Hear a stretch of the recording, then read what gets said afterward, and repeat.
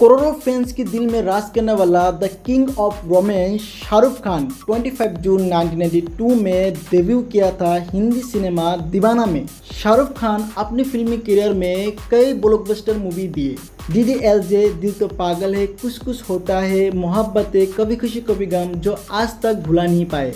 आज पूरी दुनिया में शाहरुख खान को जाना जाता रोमांस की वजह से। लेकिन पिछले कुछ सालों से शाहरुख खान की मूवी खास चल नहीं पाए।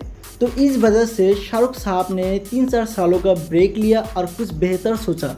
और 25 जून 2020 को शाहरुख खान के आने वाले मोस्ट एवेटेड मूवी पठान की मोशन पोस्टर रिलीज़ कर दिया।